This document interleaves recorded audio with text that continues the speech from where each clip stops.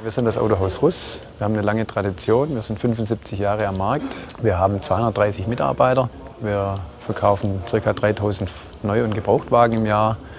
Wir reparieren 30.000 Fahrzeuge im Jahr, haben über 70.000 Kundenkontakte in den Bereichen Verkauf, Service und Teile-Zubehörbereich. Das Unternehmen wurde 1933 gegründet und äh, man begann in einer Scheune. Ja, was haben wir repariert? DKW, NSU und über Motorräder und die ersten Fahrzeuge kam dann dieses Mercedes-Geschäft dann auch auf.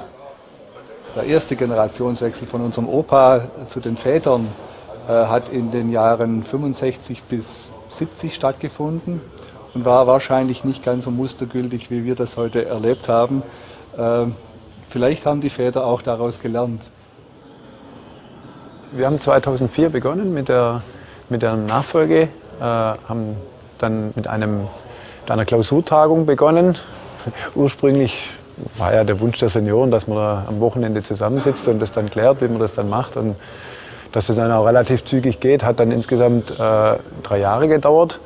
Äh, nach diesem Wochenende waren alle Themen auf dem Tisch, mehr Themen, als wir geglaubt hätten. Und das war aber hervorragend. Wir haben da sehr offen darüber diskutiert, alles durchgemacht ist ja sehr wichtig, dass es auch einen Notfallplan gibt, ähm, weil wir haben Verantwortung für 230 Familien und den Fortbestand des Unternehmens sind das schon Priorität Nummer eins. Es ist uns auch äh, sehr wertvoll, die Erfahrung der beiden äh, im Hintergrund zu wissen.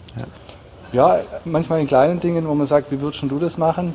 Äh, oder äh, auch in strategischen Dingen ist schon hilfreich, wenn man im Hintergrund noch, äh, noch mal Menschen hat, die diese Erfahrung aus der Vergangenheit haben.